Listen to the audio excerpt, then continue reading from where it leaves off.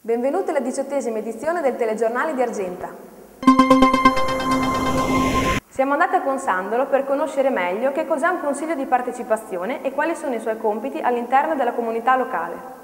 Il Consiglio di partecipazione è un gruppo di persone che rappresentano la cittadinanza, in questo caso di Consandolo, per le problematiche che esistono nella frazione da proporre al Comune di Argenta.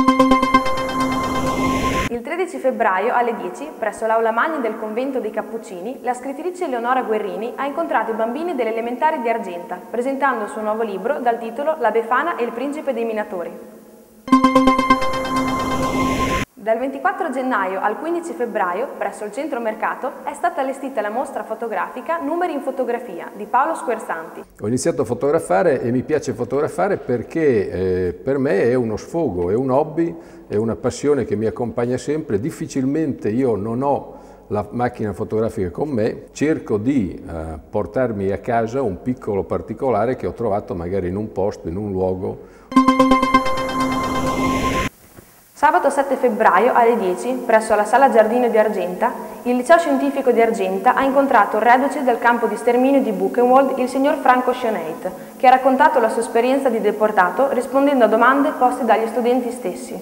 Parlo da una scuola di Argenta dove sono stato invitato per un ricordo del mio passato di eh, reduce dal campo di concentramento di Buchenwald dove sono stato imprigionato assieme a mio padre, e, mentre contemporaneamente mia madre era stata imprigionata e spedita nel campo femminile di Ravensbrück.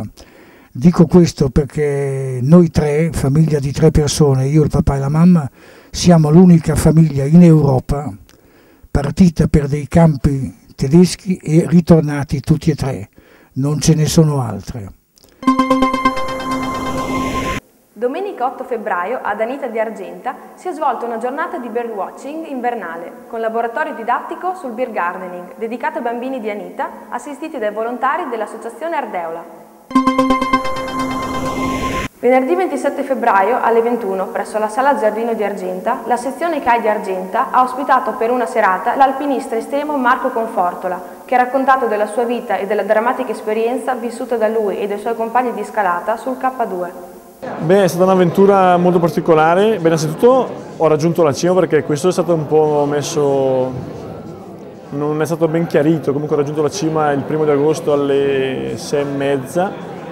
È stata un'avventura comunque difficile perché purtroppo 11 persone sono morte.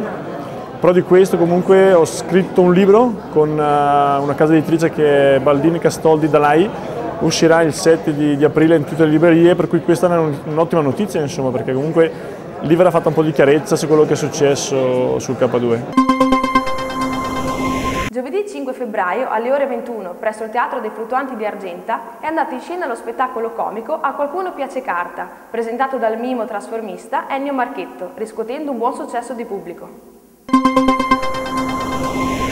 Siamo tornati al Teatro dei Fluttuanti, dove questa volta è andato in scena lo spettacolo di prosa Caro Bugiardo, portato in scena da Anna Massamauro e Corrado Tedeschi.